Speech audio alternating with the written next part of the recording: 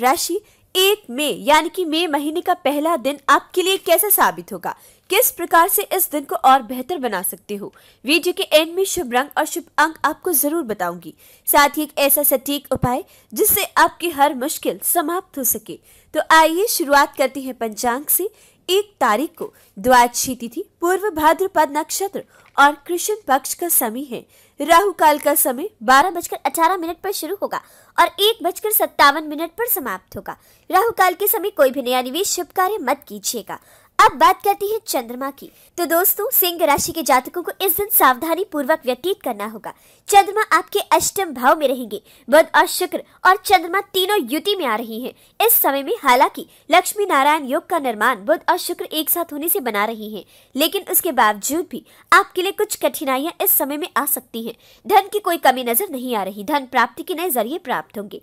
अचानक से धन मिलेगा। गुप्त धन मिल सकता है। लेकिन आपको इस समय में कोई बड़ा निवेश नहीं करना है। कोई अहम फैसला मत लीजिएगा। मन परेशान और चिंतित रहेगा। आप इस समय में बीमारी ग्रस्त नज़र आ रही हो। बीमारियों में उलझे नज़र आ रही हो। आपके सिर में दर्द रह सकता है। बुध आपको नसों का रोग दे सकता है। शुक्र आपकी हड्डियों में दर्द रख सकता है। या फिर गुप्त अंगों का रोग इस समय में झेलना पड़ सकता है। सावधानी पूर्वक दिन को व्यतीत कीजिएगा।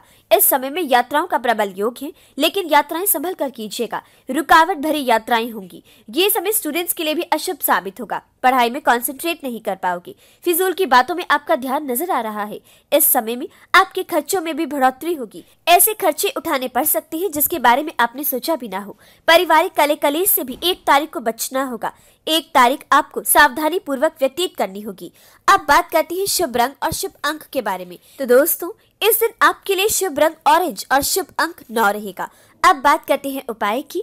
आपको इस दिन गौ माता को अपने वेट के बराबर हरा चारा ज़रूर खिलाना चाहिए। सूर्य आपकी राशि के स्वामी है, इसलिए सुबह उठकर सूर्य देव को तांबे के लोटे में लाल पुष्प और थोड़ा सा कुमकुम और गुड़ डालकर जल अर्पित कीजिएगा। आप सभी समस्याओं से उभर पाओगे। अगर इस दिन किसी को आटा दान करते हो तो नकारात्मक ऊर्जा पूरी तरीके से समाप्त होगी। आपके सभी असफल काम सफल बनेंगे। तो ये था सिंह राशि वालों के लिए फ़र्स्ट मे राशिफल के बारे में।